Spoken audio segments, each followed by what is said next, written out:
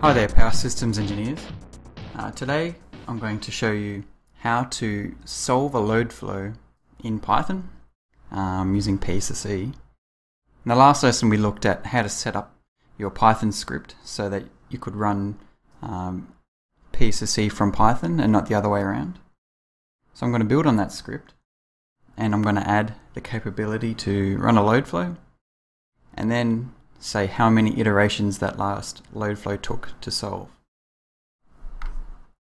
So you see here I've set up um, the same as the last video where we've imported um, the we've changed the Python path so that P Python knows where to find PSSPY, that library.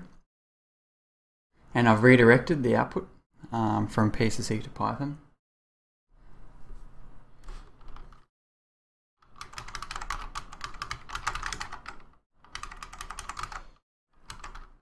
So now I'm just going to run PSSE init just to initialize PSSE. If you run the program, uh, we'll find that we get that um, PSSE initialization text to show that yes, um, Python was able to initialize PSSE. So now let's first load a case. So we need, um, of course, to, to solve a case, we need one loaded in memory. So for that, we use the case command. So psspy case. And what that needs is just a file name. Um, I'm just going to use the example case that's come that comes included with PSSE.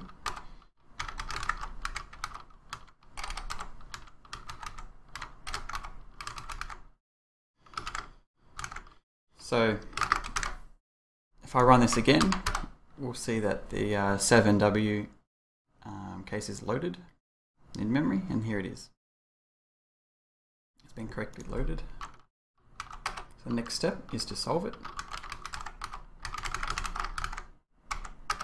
And we'll print a little message to the screen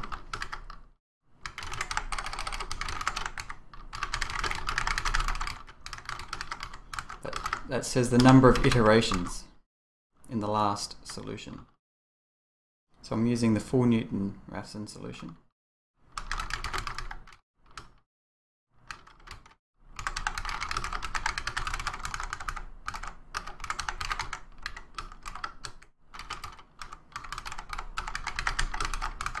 And I'm using the iterate function here and the iterate function gives you the number of iterations the last solution took. I'll put that in this variable and then interpolated that into a string, substituted into the string. So this percent %s will be replaced with the number of iterations. So let's run that now.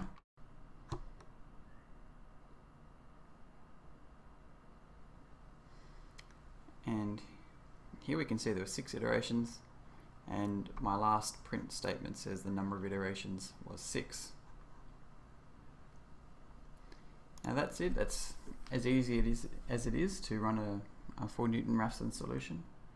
Um, there are of course options, so I may want to run this with um, taps disabled, so no stepping on the transformer taps.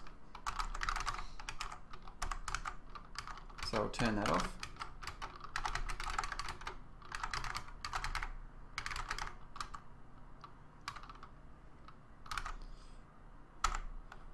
And I can disable switch shunt adjustments as well.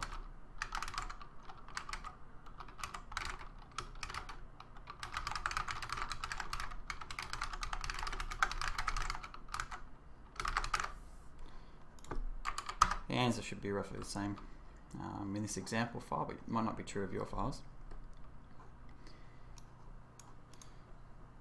And so I knew that I could uh, I knew that these options existed, so options 1 and options 5. Um, I'll show you how I found those uh, in the next example video. Until then, uh, if you have any questions, feel free to email them through. Thanks.